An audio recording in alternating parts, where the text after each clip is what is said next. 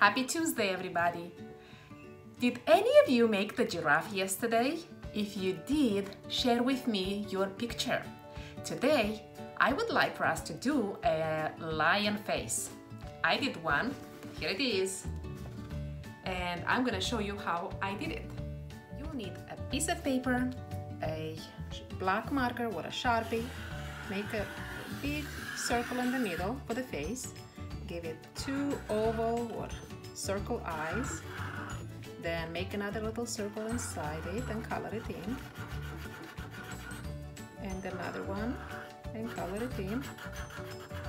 Then we need the nose, so make a circle and color it in, and then the mouth going.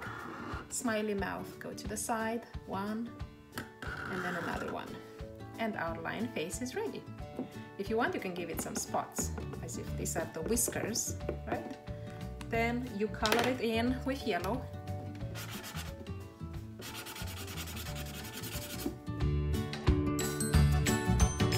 Next we're ready to give the lion make the lion's mane or hair.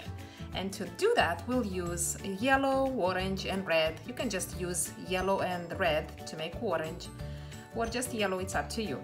And you dip the fork in the color and the paint, and then you make sure the pointy, pointy uh, part of the fork is out. So from the circle head out, and then again, make some more prints, and you can make them even longer by adding over and then again dip it in the paint and then and you can keep on twisting the page so you can keep on going with the fork make prints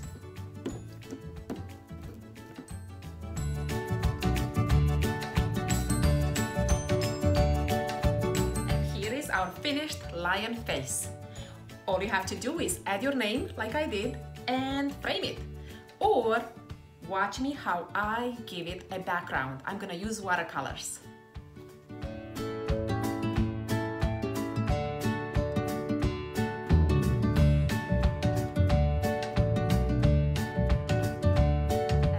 What our lion looks like if you're giving it a background. Let me know if you end up making a lion with a background or without a background. I think they both look cool. Bye friends!